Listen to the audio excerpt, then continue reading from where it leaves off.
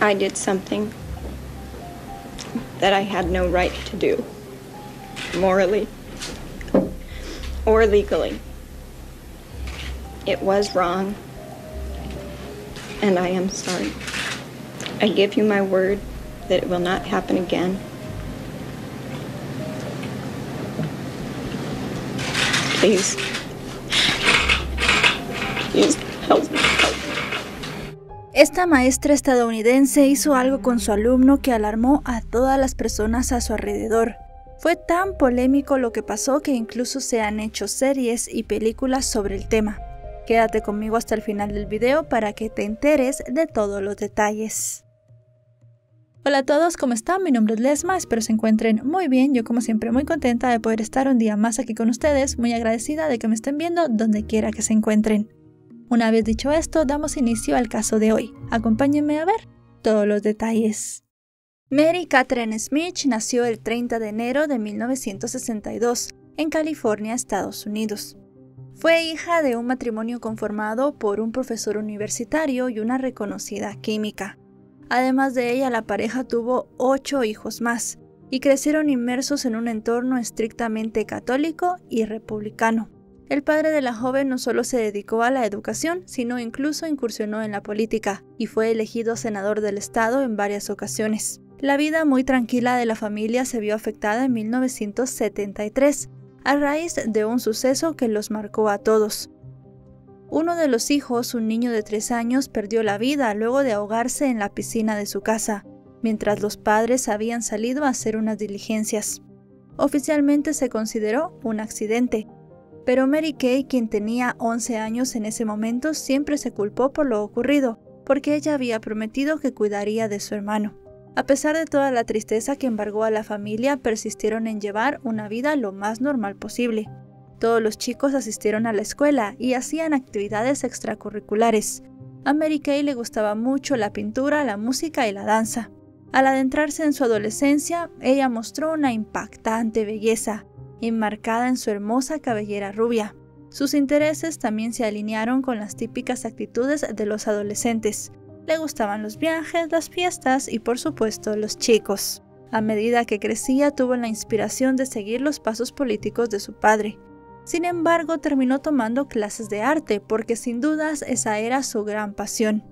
Durante sus primeros días en la universidad conoció a un hombre llamado Steve Letourneur, un joven apuesto originario de Alaska con quien compartía clases, y entre ellos se dio un apasionado noviazgo. Mientras aún estaban formándose académicamente, recibieron la noticia de que estaban esperando a su primer hijo, y en 1984 nació el niño al cual llamaron Steven Jr. Un año después se casaron, y con esto ella adoptó el apellido de su esposo, y es por eso que en todas las reseñas de este caso se le conoce como Mary Kay Letourneau. Ese mismo año ella abandonó la universidad y se mudó a Alaska, esto para seguir los sueños de su marido. La familia poco a poco fue creciendo y tuvieron otros hijos más. Al finalizar la década de 1980 con 27 años, Mary Kay deseaba iniciar una nueva carrera profesional. Debido a esto logró un puesto como maestra en una escuela primaria. Sus colegas la describieron como una persona con una personalidad encantadora. En 1992, mientras desempeñaba el rol de maestra de segundo grado, Mary Kay tuvo como alumno un niño de 9 años llamado Billy Faulau. Para ese momento no se imaginaba el impacto que este niño tendría en el futuro, tanto de ella como de su familia. Y es que la historia de Billy era particular e incluso dramática. Era hijo de una pareja de inmigrantes provenientes de Samoa. Había nacido el 26 de junio de 1983. Su padre se había casado cinco veces y tenía un total de 18 hijos con todas esas esposas. Creció en un entorno familiar catalogado como disfuncional e inestable, pero eso sí le gustaba mucho el arte y la pintura. Billy y Mary Kay tenían muchos intereses en común y crearon un vínculo más o menos cercano, pero nada pasó de la relación entre maestra y alumno. Obviamente él era muy pequeño. En más de una ocasión ella afirmó que incluso durante esa época le era muy difícil recordar la presencia del niño en el aula. Cuatro años después se produjo un reencuentro que marcó un punto de inflexión en la vida de ambos. Billy era alumno de sexto grado y Mary Kay le dio unas clases de arte en verano, donde participaban diferentes chicos de la escuela. Allí se volvieron a encontrar y las cosas cambiaron de contexto. El vínculo entre la mujer de 34 años y el chico de 13 se volvió cada vez más estrecho. Ella además tenía varias tensiones en su matrimonio. Mary Kay dijo que al inicio se vio impresionada por el talento artístico de Billy y decidió brindarle apoyo. Incluso él visitó varias veces su hogar y formó una amistad con el hijo mayor de la mujer. Can you hold that? And I guess what I meant is that kind of like you too. But it's, it's not okay right now. El vínculo escaló rápidamente y Mary Kay comenzó una relación con Billy en medio de los problemas que tenía en su matrimonio. Según comentaron, mantuvieron intimidad una noche de junio de 1996 y luego de eso no se detuvieron. Continuaron como una especie de amantes. Se encontraban en el vehículo de ella, inventaban clases extracurriculares y aprovechaban cualquier hora libre para escaparse. También se ocultaban para tener intimidad en el techo de la casa de la mujer, así como en los baños y aulas de la escuela. En 1996 la policía los encontró juntos durante la noche en el automóvil de la mujer. Aunque era una situación sospechosa, ella aseguró que era su alumno y que su madre estaba al tanto de que se encontraba con ella. Como no vieron nada explícito en ese momento, les permitieron marcharse. No obstante, la relación salió a la luz pública a inicios de 1997, cuando Steve descubrió las cartas de amor que su esposa le había escrito a Billy. El hombre no entendía y no podía creer lo que estaba pasando. Entró en shock, pero luego decidió tomar acciones. Enfrentó a su mujer y luego de esto informó tanto a las autoridades como a los funcionarios de la escuela, lo que derivó en el arresto de Mary Kay, acusada de estupro. Para sorpresa de todos, la maestra estaba embarazada en ese momento y el bebé que esperaba era de Billy. La noticia obviamente se hizo pública y acaparó toda la atención nacional. Mientras todo esto sucedía, Steve estaba evidentemente profundamente afectado, por lo que decidió irse de nuevo a Alaska con sus cuatro hijos para alejarse del escándalo. En mayo de 1997, Mary Kay, mientras estaba en el proceso legal, dio a luz a su primera hija con Billy llamada Audrey. Mientras tanto, se le dio una sentencia de seis años de prisión, pero ella se declaró culpable de dos cargos y a cambio fue condenada solamente a seis meses de cárcel, tres meses suspendidos y tres meses en tratamiento psiquiátrico. La relevante decisión del tribunal no vino con la pena, sino que se le prohibió mantener cualquier tipo de contacto con Billy. No podía acercarse a él, a su casa y mucho menos a su familia por el resto de su vida.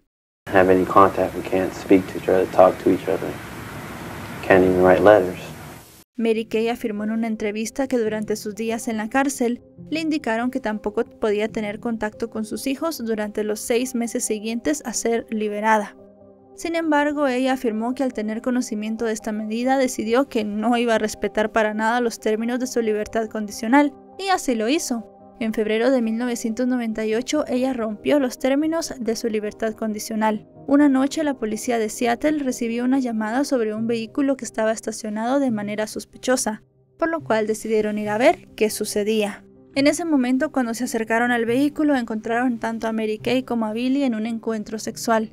También dentro del vehículo había 6 mil dólares en efectivo, pasaportes y ropa nueva, por lo cual se creía que ellos dos estaban planeando escaparse del país. La arrestaron nuevamente y le dieron otra pena, 7 años y medio de prisión. No obstante, todos quedaron en shock al enterarse que durante ese breve periodo de libertad Mary Kay quedó embarazada de nuevo y en 1998 le dio a luz a su segunda hija con Billy y a su sexta hija, Georgia. Audrey y Georgia quedaron bajo el cuidado de su abuela paterna. Y en el año 2002, Billy y su madre demandaron al Distrito Escolar de Washington por un millón de dólares. Alegaron que el dinero era para afrontar la crianza de las niñas y alegaron que los funcionarios de la escuela debían haber notado las malas actitudes que Mary Kay tenía con Billy. Sin embargo, la corte no falló a su favor. Durante los años que estuvo detenida, Mary Kay mantuvo en secreto contacto con Billy a través de cartas. Años después se le afirmó que durante ese tiempo la mujer le había permitido salir con otras mujeres, pero que no obstante él seguía enamorado de ella. Ya para 2004 Mary Kay completó su condena y fue liberada. Su nombre y todos sus datos quedaron en la lista de agresores sexuales y abusadores de menores. Y aunque la prohibición del contacto entre ella y Billy estaba vigente, él ya tenía 21 años, por lo cual solicitó que se revocara la orden de alejamiento.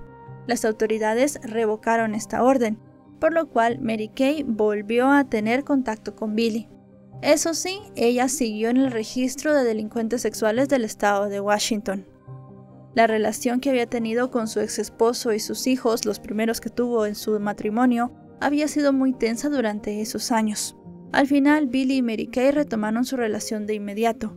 Consiguió trabajo como asistente de abogados y él tocaba como DJ en algunas fiestas los fines de semana, además de dedicarse a la remodelación de casas. También se les permitió a ambos que se hicieran cargo de sus hijas. La historia dio otro giro cuando en 2005 al final decidieron casarse en Washington, Luego de su matrimonio buscaron mantenerse de bajo perfil e intentaron llevar una vida normal. Pero en 2017, después de casi 12 años de matrimonio, Billy solicitó el divorcio. Meses después, el hombre fue arrestado en Washington, acusado de conducir bajo los efectos del alcohol. Según los documentos judiciales, hablaba de forma incoherente, tenía los ojos inyectados en sangre y una expresión muy aturdida. Ya para noviembre de 2018, Billy detuvo la separación legal. Ese mismo año la pareja apareció nuevamente en público para dar una entrevista. En muchos momentos esta entrevista se volvió incómoda, pues el entrevistador abordó la naturaleza delictiva que había entre el vínculo en ambos, pero Mary Kay siempre tuvo una postura absolutamente arrogante y negadora. En el fragmento del programa que mostraremos a continuación puede apreciarse la forma en la que ella se indigna cuando el entrevistador habla sobre su relación. Pero las polémicas declaraciones de Mary Kay continuaron, esto para buscar justificar su comportamiento y su relación con Billy. When you say you made a big adult choice and made the decision that was best for everyone, was it best for Billy? Oh, you mean To should pursue I have? this. Okay, so should Oh, I I have? If you would appreciate it, I just want to let said- Billy speak. Can you But answer if that I- question, Billy? Let's clarify the question though. You. Should I have said not guilty and brought him to trial? No, no, no. Should you have pursued the relationship at all? Should you have walked away? You're presuming I pres- that I Both of you. It's a question to both it. of you. You were the adult, Mary. Okay, but that doesn't mean the personality makes it Okay. so. En otro momento el entrevistador le pregunta a Billy sobre su opinión de la historia, y nuevamente la mujer toma una postura negadora sobre la gravedad de los hechos. What do you mean by I mean- couldn't do that? I mean, just from knowing everything that I know now, I mean, I couldn't. I mean, even just even without knowing, um, and seeing a 13-year-old, you know, now, you know, me being 35, I couldn't, I couldn't like look at a girl that young romantically. Is that hard to hear, Mary? It, would- Oh, I don't. I don't relate that to our situation. But it's the exact same situation in reverse. Uh, no, it isn't. Tan solo un año después de esta entrevista, en 2019, se informó que se presentó otra solicitud legal para separar el matrimonio. Mary Kay y Billy al final se divorciaron en agosto de 2019, pero siguieron compartiendo juntos y viviendo bajo el mismo techo con sus dos hijas. Poco después él se mudó a California, mientras que ella se quedó en Seattle. Lamentablemente, poco tiempo después de su separación, Mary Kay fue diagnosticada con cáncer colorectal, el cual se había extendido hacia su hígado. Los tratamientos eran agresivos, por lo cual ella decidió no realizarlos y esperar un milagro. Lamentablemente ella terminó perdiendo la vida. Luego del deceso de la ex maestra, los medios de comunicación han publicado numerosos testimonios, tanto en su contra como en su apoyo, e incluso esta historia ayudó a hacer muchas series de televisión y documentales. Sin embargo, para la sociedad y la justicia este caso no fue un cuento de hadas, sino un episodio de abuso entre una adulta y un niño.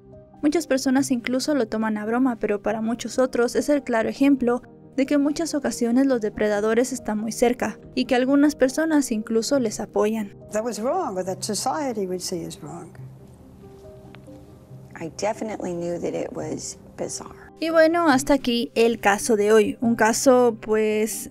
Y bueno, hasta aquí el caso de hoy. Un caso que ha dado mucho de qué hablar durante años, no solamente ahora, sino durante muchos años todo el mundo ha debatido acerca de la relación entre Mary Kay y Billy. Realmente lo único que podemos decir es que es una adulta que se aprovechó de un menor, que tuvo dos hijos con este chico cuando le habían dicho que se alejara de él, cumplió una pena en la cárcel y al final pues bueno, eh, ella terminó perdiendo la vida por una devastadora enfermedad y Billy tuvo que terminar de cuidar a sus hijas y su primer esposo pues eh, también cuidar a sus primeros cuatro hijos. Realmente es una historia devastadora, podríamos decirlo así. Y al final, como les digo, pues ella siguió diciendo durante las últimas entrevistas que dio que no se arrepentía, que no veía nada malo en sus acciones y con eso se fue a la tumba.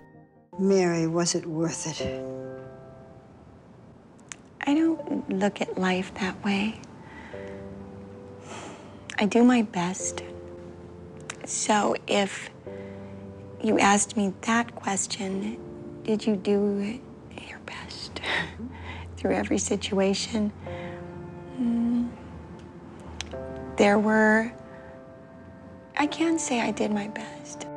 Si este video les ha parecido informativo, recuerden dejarle un me gusta, también recuerden suscribirse si no lo están. Recuerden estar atentos a esta página porque actualizo varias veces por semana. Ahora sí, nos vemos hasta otro video. Adiós.